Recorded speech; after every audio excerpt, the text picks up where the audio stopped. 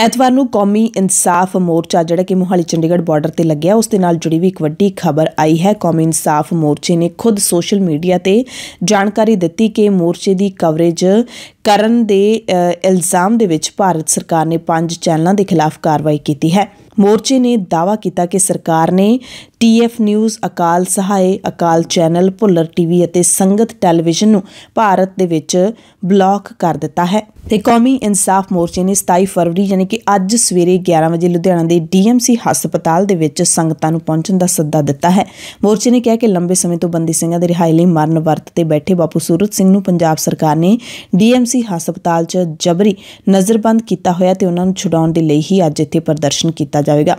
ਪਿਛਲੇ ਦਿਨੀ ਵੀ ਮੋਰਚੇ ਦਾ ਇੱਕ ਵਫਦ ਬਾਪੂ ਸੂਰਤ ਸਿੰਘ ਨੂੰ ਲੈਣ ਪਹੁੰਚਿਆ ਸੀ, ਪਰ ਹਸਪਤਾਲ ਪ੍ਰਸ਼ਾਸਨ ਨੇ ਉਹਨਾਂ ਨੂੰ ਨਹੀਂ ਲਿਜਾਣ ਦਿੱਤਾ। ਉਸ ਵਕਤ ਵੀ ਉੱਥੇ ਵਿਰੋਧ ਪ੍ਰਦਰਸ਼ਨ ਹੋਇਆ ਸੀ। ਪੰਜਾਬ ਵਿਧਾਨ ਸਭਾ ਦਾ ਬਜਟ ਸੈਸ਼ਨ ਸੱਦਣ ਦੇ ਮੁੱਦੇ ਤੇ ਆਮ ਆਦਮੀ ਪਾਰਟੀ ਅੱਜ ਸੁਪਰੀਮ ਕੋਰਟ ਦੇ ਵਿੱਚ ਜਾਵੇਗੀ, ਕਿਉਂਕਿ ਪੰਜਾਬ ਦੇ ਰਾਜਪਾਲ ਬਨਵਾਰੀ ਲਾਲ ਪੁਰੋਹਿਤ ਨੇ 3 ਮਾਰਚ ਨੂੰ ਸੱਦੇ ਜਾਣ ਵਾਲੇ ਬਜਟ ਸੈਸ਼ਨ ਨੂੰ ਹਾਲੇ ਤੱਕ ਪ੍ਰਵਾਨਗੀ ਨਹੀਂ ਦਿੱਤੀ ਹੈ। ਆਮ ਆਦਮੀ ਪਾਰਟੀ ਦੇ ਸੰਸਦ ਮੈਂਬਰ ਰਾਘਵ ਚੱਡਾ ਨੇ ਕਿਹਾ ਕਿ ਬਜਟ ਸੈਸ਼ਨ ਸਦਨ ਦੇ ਮੁੱਦੇ ਤੇ ਪੰਜਾਬ ਸਰਕਾਰ ਨੂੰ ਸੁਪਰੀਮ ਕੋਰਟ ਜਾਣ ਲਈ ਮਜਬੂਰ ਕੀਤਾ ਗਿਆ ਹੈ, ਕਿਉਂਕਿ ਰਾਜਪਾਲ ਨੇ ਸੈਸ਼ਨ ਸਦਨ ਤੇ ਕੋਈ ਹੁੰਗਾਰਾ ਨਹੀਂ ਦਿੱਤਾ। ਇਸ ਕਰਕੇ ਆਮ ਆਦਮੀ ਪਾਰਟੀ ਇਸ ਮਸਲੇ ਨੂੰ ਅੱਜ ਸੁਪਰੀਮ ਕੋਰਟ ਦੇ ਵਿੱਚ ਰੱਖੇਗੀ। ਸੁਪਰੀਮ ਕੋਰਟ ਦੇ ਵੱਲੋਂ ਹਰਿਆਣਾ ਦੀ ਪ੍ਰਬੰਧਕ ਕਮੇਟੀ ਨੂੰ ਮਾਨਤਾ ਦਿੱਤੇ ਜਾਣ ਤੋਂ ਬਾਅਦ ਐਸਜੀਪੀਸੀ ਅਤੇ ਹਰਿਆਣਾ ਕਮੇਟੀ ਦੇ ਵਿਚਾਲੇ ਖਿੱਚੋਤਾਣ ਲਗਾਤਾਰ ਚੱਲ ਰਹੀ ਹੈ ਇਸ ਮਸਲੇ ਤੇ ਸ਼੍ਰੋਮਣੀ ਗੁਰਦੁਆਰਾ ਪ੍ਰਬੰਧਕ ਕਮੇਟੀ ਨੇ 3 ਮਾਰਚ ਨੂੰ ਐਸਜੀਪੀਸੀ ਦੇ ਜਨਰਲ ਹਾਊਸ ਦੇ ਮੈਂਬਰਾਂ ਦੀ ਇੱਕ ਅਹਿਮ ਮੀਟਿੰਗ ਸੱਦੀ ਹੈ ਜਿਸ ਵਿੱਚ ਹਰਿਆਣਾ ਕਮੇਟੀ ਦੇ ਮਸਲੇ ਦੇ ਉੱਤੇ ਰੂਪਰੇਖਾ ਦਾ ਐਲਾਨ ਕੀਤਾ ਜਾਵੇਗਾ ਐਸਜੀਪੀਸੀ ਵੱਲੋਂ ਇਸ ਮਾਮਲੇ ਤੇ ਕਾਨੂੰਨੀ ਮਾਹਿਰਾਂ ਦੀ رائے ਵੀ ਲਈ ਜਾ ਰਹੀ ਹੈ ਜਲੰਧਰ ਦੇ ਆਦਮਪੁਰ ਦੁਆਬਾ ਦੇ ਵਿੱਚ ਗੁਰਬਾਣੀ ਦੀ ਬੇਅਦਬੀ ਦੀ ਘਟਨਾ ਸਾਹਮਣੇ ਆਈ ਹੈ। ਮਕਸੂਦਾਂ ਦੇ ਪਿੰਡ ਨੰਦਨਪੁਰ ਦੇ ਵਿੱਚ ਬੇਅਦਬੀ ਦੀ ਘਟਨਾ ਵਾਪਰਨ ਤੋਂ ਬਾਅਦ ਕੱਲ ਇੱਕ ਹੋਰ ਮਾਮਲਾ ਸਾਹਮਣੇ ਆਇਆ, ਜਦੋਂ ਇੱਕ ਰਾਹਗੀਰ ਨੇ ਬੇਅੰਤ ਨਗਰ ਦੀ ਪਾਰਕ ਵਿੱਚ ਇੱਕ ਵਿਅਕਤੀ ਨੂੰ ਗੁਟਕਾ ਸਾਹਿਬ ਦੇ ਪੰਨੇ ਪਾੜਦੇ ਦੇਖਿਆ। ਇੱਥੇ ਪਾਰਕ ਦੇ ਵਿੱਚ ਸਵੇਰ ਦੀ ਸੈਰ ਕਰ ਰਹੇ ਬਜ਼ੁਰਗ ਜੋਰਾ ਸਿੰਘ ਨੇ ਇੱਕ ਵਿਅਕਤੀ ਨੂੰ ਆਪਣੇ ਕੋਲ ਰੱਖੇ ਬੈਗ ਵਿੱਚੋਂ ਕੁਝ ਪੰਨੇ ਕੱਢ ਕੇ ਪਾਰਕ ਵਿੱਚ ਵੱਖ-ਵੱਖ ਥਾਵਾਂ ਤੇ ਪਾੜ ਕੇ ਸੁੱਟਦਿਆਂ ਦੇਖਿਆ। ਜਦੋਂ ਵਿਅਕਤੀ ਦੇ ਨੇੜੇ ਪਹੁੰਚਿਆ ਤਾਂ ਦੇਖਿਆ ਕਿ ਜਿਹੜੇ ਪੰਨੇ ਉਹ ਪਾੜ ਰਿਹਾ ਸੀ, ਉਹ ਨਿਤਨੇਮ ਦੀ ਪੋਥੀ ਦੇ ਸਨ। ਜੋਗਾ ਸਿੰਘ ਨੇ ਜਦੋਂ ਪੁੱਛ ਪੜਤਾਲ ਉਸ ਤੋਂ ਕਰਨੀ ਚਾਹੀ ਤਾਂ ਉਹ ਮੌਕੇ ਤੋਂ ਫਰਾਰ ਹੋ ਗਿਆ, ਪਰ ਲੋਕਾਂ ਨੇ ਇਸ ਵਿਅਕਤੀ ਨੂੰ ਮੌਕੇ ਤੇ ਹੀ ਕਾਬੂ ਕਰ ਲਿਆ ਤੇ ਕੁੱਟਮਾਰ ਤੋਂ ਬਾਅਦ ਪੁਲਿਸ ਦੇ ਹਵਾਲੇ ਕਰ ਦਿੱਤਾ। ਪਤਾ ਲੱਗਿਆ ਕਿ ਨਸ਼ੇ ਦੀ ਹਾਲਤ ਵਿੱਚ ਇਸ ਵਿਅਕਤੀ ਨੇ ਗੁਰੂ ਘਰ ਦੇ ਵਿੱਚੋਂ ਗੁਟਕਾ ਸਾਹਿਬ ਚੋਰੀ ਕੀਤਾ ਸੀ। ਅਤੇ ਬੇਅਦਬੀ ਦੀ ਘਟਨਾ ਨੂੰ ਅੰਜਾਮ ਦਿੱਤਾ। ਮੁਲਜ਼ਮ ਦੀ ਪਛਾਣ ਵਰਿੰਦਰ ਸਿੰਘ ਉਰਫ ਬਬਲੂ ਵਜੋਂ ਹੋਈ ਹੈ, ਜਿਹੜਾ ਕਿ ਗੁਰੂ ਨਾਨਕਪੁਰਾ ਨਗਰ ਜਲੰਧਰ ਦਾ ਰਹਿਣ ਵਾਲਾ ਹੈ। ਇਸ ਤੋਂ ਪਹਿਲਾਂ ਤੜਕੇ ਇੱਕ ਨੌਜਵਾਨ ਰਾਮਾ ਮੰਡੀ ਦੇ ਬੇਅੰਤ ਨਗਰ ਸਥਿਤ ਗੁਰੂ ਘਰ ਦੇ ਵਿੱਚ ਜਬਰੀ ਦਾਖਲ ਹੋ ਗਿਆ ਸੀ। ਕੁਝ ਦੇਰ ਗੁਰੂ ਘਰ 'ਚ ਬੈਠਾ ਰਿਹਾ ਤੇ ਫਿਰ ਗੁਟਕਾ ਸਾਹਿਬ ਚੁੱਕ ਕੇ ਗਲੀ 'ਚ ਭੱਜ ਗਿਆ ਤੇ ਵੇਖਦੇ ਹੀ ਵੇਖਦੇ ਗੁਰਬਾਣੀ ਦੇ ਪਾਵਨ ਅੰਗਾਂ ਨੂੰ ਪਾੜ ਕੇ ਉਸਨੇ ਸੁੱਟਣਾ ਸ਼ੁਰੂ ਕਰ ਦਿੱਤਾ। ਇਸ ਨੂੰ ਵੀ ਮੌਕੇ ਤੇ ਮੌਜੂਦ ਸੰਗਤ ਨੇ ਫੜ ਲਿਆ ਖੰਬੇ ਨਾਲ ਬੰਨ ਕੇ ਪਹਿਲਾਂ ਕੁੱਟਿਆ ਤੇ ਫਿਰ ਪੁਲਿਸ ਦੇ ਹਵਾਲੇ ਕਰ ਦਿੱਤਾ।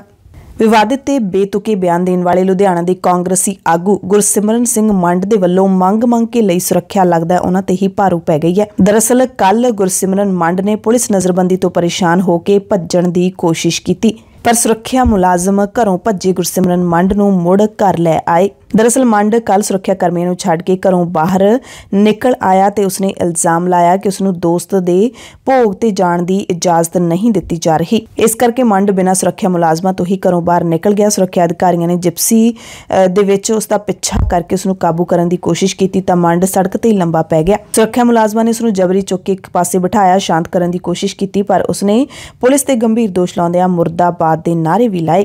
ਉਹਨੇ ਕਿਹਾ ਕਿ ਲੁਧਿਆਣਾ ਪੁਲਿਸ ਤੋਂ ਪਰੇਸ਼ਾਨ ਹੋ ਕੇ ਉਹ ਲੁਧਿਆਣਾ ਦੇ ਹਾਤੀ ਹਲਕੇ ਵਿੱਚ ਰਹਿਣ ਵਸੇਰਾ ਕਰੇਗਾ। ਕਿਉਂਕਿ ਪੁਲਿਸ ਨੇ ਉਸ ਨੂੰ ਗੈਰ ਕਾਨੂੰਨੀ ਨਜ਼ਰਬੰਦੀ ਦੇ ਵਿੱਚ ਰੱਖਿਆ ਹੋਇਆ, ਉਹ ਘਰੋਂ ਬਾਹਰ ਨਹੀਂ ਜਾ ਸਕਦਾ ਤੇ ਨਾ ਹੀ ਉਸ ਨੂੰ ਕਾਰੋਬਾਰ ਕਰਨ ਦਿੱਤਾ ਜਾ ਰਿਹਾ, ਜਿਸ ਕਰਕੇ ਵੱਡੇ ਆਰਥਿਕ ਸੰਕਟ ਦੇ ਵਿੱਚ ਫਸਿਆ ਹੋਇਆ ਹੈ। ਉਸਨੇ ਦੋਸ਼ ਲਾਇਆ ਕਿ ਪੁਲਿਸ ਉਸ ਨੂੰ ਮਿੱਠਾ ਜ਼ਹਿਰ ਦੇ ਕੇ ਮਾਰ ਰਹੀ ਹੈ। ਦਰਅਸਲ ਗੁਰਸਿਮਰਨ ਮੰਡ ਦੇ ਘਰ ਦੇ ਬਾਹਰ ਪਿਛਲੇ 3.5 ਮਹੀਨਿਆਂ ਤੋਂ ਪੁਲਿਸ ਤਾਇਨਾਤ ਹੈ। ਵੱਡੀ ਗਿਣਤੀ ਦੇ ਵਿੱਚ ਇੱਥੇ ਪੁਲਿਸ ਨੂੰ ਲਾਇਆ ਗਿਆ ਹੈ। ਇਸ ਦੀ ਮੰਗ ਗੁਰਸਿਮਰਨ ਮੰਡ ਨੇ ਖੁਦ ਕੀਤੀ ਸੀ, ਕਿਉਂਕਿ ਖਾਲਿਸਤਾਨ ਦੇ ਮੁੱਦੇ ਦੇ ਉੱਤੇ ਲਗਾਤਾਰ ਬਿਆਨ ਦਿੰਦਾ ਰਹਿੰਦਾ ਹੈ ਤੇ ਉਹੀ ਲੀਡਰ ਹੈ ਜਿਸ ਨੇ ਅਜੀਵ ਗਾਂਧੀ ਦੇ ਬੁੱਤ ਤੇ ਲਾਈ ਕਾਲਖ ਨੂੰ ਆਪਣੀ ਦਸਤਾਰ ਨਾਲ ਸਾਫ਼ ਕੀਤਾ ਸੀ ਤੇ ਦੁੱਧ ਨਾਲ ਧੋਤਾ ਸੀ।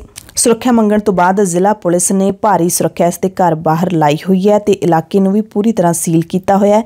ਸੜਕ ਤੇ ਬੋਰੀਆਂ ਲਾ ਕੇ ਬੰਕਰ ਵੀ ਬਣਾਏ ਹੋਏ ਨੇ, ਜਿਸ ਕਾਰਨ ਇਲਾਕੇ ਦੇ ਲੋਕ ਵੀ ਪਰੇਸ਼ਾਨ ਨੇ। ਫਰੀਦਕੋਟ ਦੇ ਗੁਰੂ ਗੋਬਿੰਦ ਸਿੰਘ ਮੈਡੀਕਲ ਕਾਲਜ ਦੇ ਵਿੱਚ ਐਮਬੀਬੀਐਸ ਦੀ ਪੜ੍ਹਾਈ ਦੇ ਲਈ ਮੈਡੀਕਲ ਕਾਉਂਸਲ ਆਫ ਇੰਡੀਆ ਨੇ 25 ਹੋਰ ਸੀਟਾਂ ਵਧਾ ਦਿੱਤੀਆਂ ਨੇ ਤੇ ਹੁਣ ਇੱਥੇ ਐਮਬੀਬੀਐਸ ਦੀ ਐਮਬੀਬੀਐਸ ਦੀਆਂ ਕੁੱਲ 150 ਸੀਟਾਂ ਹੋ ਗਈਆਂ ਨੇ। ਅਨਸਨ ਦੇ ਵਿੱਚ ਸੀਨੀਅਰ ਕਾਂਗਰਸੀ ਆਗੂ ਤੇ ਸਾਬਕਾ ਵਿਧਾਇਕ ਮੰਗਤ ਰਾਏ ਬਾਂਸਲ ਦੀ ਕੁੱਟਮਾਰ ਦੇ ਮਾਮਲੇ ਦੇ ਵਿੱਚ ਪੁਲਿਸ ਨੇ ਇੱਕ ਹੋਰ ਵਿਅਕਤੀ ਨੂੰ ਕਾਬੂ ਕੀਤਾ ਹੈ। ਪਤਾ ਲੱਗਿਆ ਕਿ ਕੁੱਟਮਾਰ ਦੌਰਾਨ ਸਾਬਕਾ ਵਿਧਾਇਕ ਬਾਂਸਲ ਦੇ ਨੱਕ ਦੀ ਹੱਡੀ ਟੁੱਟ ਗਈ ਹੈ। ਡਾਕਟਰਾਂ ਨੇ ਸਾਬਕਾ ਵਿਧਾਇਕ ਨੂੰ ਰਜਿੰਦਰਾ ਹਸਪਤਾਲ ਪਟਿਆਲਾ ਦੇ ਲਈ ਰੈਫਰ ਕਰ ਦਿੱਤਾ ਸੀ, ਜਿੱਥੇ ਡਾਕਟਰਾਂ ਨੇ ਰਿਪੋਰਟ ਜਾਰੀ ਕਰਕੇ ਇਹ ਜਾਣਕਾਰੀ ਦਿੱਤੀ ਹੈ। ਫੜੇ ਗਏ ਮੁਲਜ਼ਮ ਨੂੰ ਪੁਲਿਸ ਨੇ ਅਦਾਲਤ ਵਿੱਚ ਪੇਸ਼ ਕੀਤਾ, ਜਿੱਥੇ ਅਦਾਲਤ ਨੇ ਡਰਾਈਵਰ ਸਮੇਤ ਦੋ ਜਣਿਆਂ ਨੂੰ ਦੋ ਦਿਨਾਂ ਦੇ ਪੁਲਿਸ ਰਿਮਾਂਡ ਤੇ ਭੇਜ ਦਿੱਤਾ ਹੈ। ਪੰਜਾਬ ਸਕੂਲ ਸਿੱਖਿਆ ਵਿਭਾਗ ਦੇ ਵੱਲੋਂ ਨਵੇਂ ਬਣਾਏ ਸਕੂਲ ਆਫ ਐਮੀਨੈਂਸ ਦੇ ਵਿੱਚ 6ਵੀਂ ਜਮਾਤ ਦੇ ਬੱਚਿਆਂ ਦੇ ਦਾਖਲੇ ਬੰਦ ਕਰ ਦਿੱਤੇ ਗਏ ਨੇ। ਨਵੇਂ ਵਿਦਿਅਕ ਸਾਲ 2023-24 ਦੇ ਵਿੱਚ ਸਕੂਲ ਆਫ ਐਮੀਨੈਂਸ ਦੇ ਵਿੱਚ ਹੁਣ 6ਵੀਂ ਜਮਾਤ ਨਹੀਂ ਚੱਲੇਗੀ। 6ਵੀਂ ਜਮਾਤ ਦੇ ਨਵੇਂ ਦਾਖਲੇ ਹੁਣ ਨੇੜਲੇ ਸਰਕਾਰੀ ਸਕੂਲਾਂ ਦੇ ਵਿੱਚ ਕਰਨ ਦਾ ਫੈਸਲਾ ਲਿਆ ਗਿਆ। ਇਸ ਲਿਹਾਜ਼ ਦੇ ਨਾਲ ਜਿਨ੍ਹਾਂ ਪਿੰਡਾਂ ਦੇ ਵਿੱਚ ਸਕੂਲ ਆਫ ਐਮੀਨੈਂਸ ਬਣੇ ਨੇ, ਉਹਨਾਂ ਪਿੰਡਾਂ ਦੇ 6ਵੀਂ ਜਮਾਤ 'ਚ ਦਾਖਲ ਹੋਣ ਵਾਲੇ ਨਵੇਂ ਬੱਚਿਆਂ ਨੂੰ ਹੁਣ ਨੇੜਲੇ ਪਿੰਡਾਂ ਦੇ ਸਰਕਾਰੀ ਸਕੂਲਾਂ ਦੇ ਵਿੱਚ ਦਾਖਲ ਹੋਣਾ ਪਵੇਗਾ। ਸਿੱਖਿਆ ਵਿਭਾਗ ਦੇ ਵੱਲੋਂ ਚਿੱਠੀ ਜਾਰੀ ਕਰ ਦਿੱਤੀ ਹੈ ਤੇ ਦਾਖਲਾ ਪ੍ਰੀਖਿਆ 19 ਮਾਰਚ ਨੂੰ ਲਈ ਜਾਵੇਗੀ। ਅੱਜ ਭਾਰਤ ਦੇ ਉੱਤਰ ਪੂਰਬੀ ਸੂਬਿਆਂ ਨਾਗਾਲੈਂਡ ਤੇ ਮੇਘਾਲਿਆ ਦੇ ਵਿੱਚ ਵਿਧਾਨ ਸਭਾ ਚੋਣਾਂ ਦੇ ਲਈ ਵੋਟਾਂ ਪੈਣਗੀਆਂ। ਵੋਟਾਂ ਦੀ ਗਿਣਤੀ 2 ਮਾਰਚ ਨੂੰ ਹੋਵੇਗੀ। ਸਖਤ ਸੁਰੱਖਿਆ ਪ੍ਰਬੰਧਾਂ ਹੇਠ ਪੋਲਿੰਗ ਬੂਥਾਂ ਤੇ VOTING ਸਵੇਰੇ 7 ਵਜੇ ਸ਼ੁਰੂ ਹੋ ਚੁੱਕੀ ਹੈ ਤੇ ਸ਼ਾਮ 4 ਵਜੇ ਤੱਕ ਚੱਲੇਗੀ। ਨਾਗਾਲੈਂਡ ਦੇ ਵਿੱਚ 59 ਵਿਧਾਨ ਸਭਾ ਸੀਟਾਂ ਦੇ ਲਈ 183 ਉਮੀਦਵਾਰ ਆਪਣੀ ਕਿਸਮਤ ਅਜ਼ਮਾ ਰਹੇ ਨੇ। ਦੋਵਾਂ ਸੂਬਿਆਂ ਦੇ ਵਿੱਚ 60-60 ਵਿਧਾਨ ਸਭਾ ਸੀਟਾਂ ਨੇ।